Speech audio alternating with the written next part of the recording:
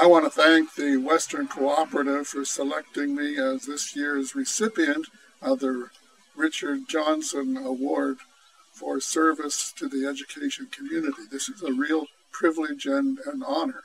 I went online and looked at the list of previous recipients, and I'm really quite humbled at the collection of important and, and exciting people that are there. Particularly, I was struck with two people. The first recipient, John Witherspoon, and last year's recipient, Sally Johnstone, both of whom have been old friends of mine for at least 15 years. I particularly value this award because of my experience working with the cooperative.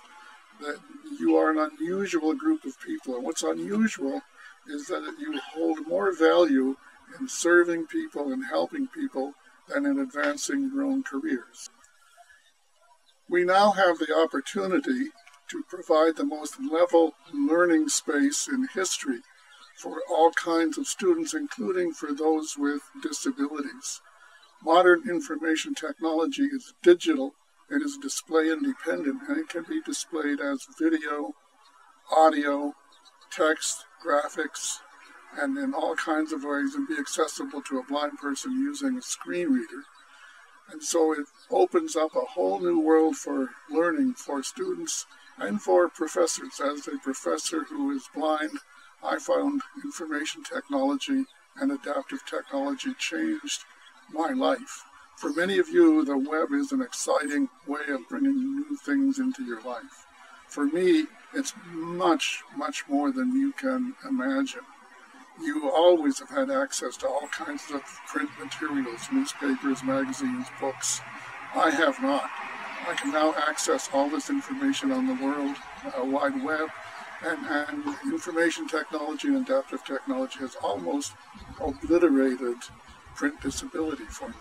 I am the CEO of EASI, Equal Access to Software and Information, and we devote ourselves to helping you make your materials more accessible to all kinds of students.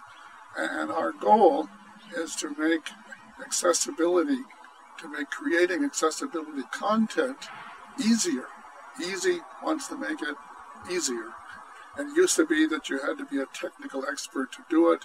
We're now finding more and more ways that you can use the same software you're using every day to create your content and using it in some special ways with a few special tricks. You can do this. EASI provides online courses, online webinars, and three different podcast feeds. We hope you'll come to our page, look it over, and I'd be very happy if any of you email me personally. I'd be glad to work with you. And if you email me and ask what EASI can do for you at WCET, I'll send you some information, including some special discount materials. I want to thank you once again for bringing me in among this honored and esteemed group of people for the Richard Jonsen Award. Thank you very much.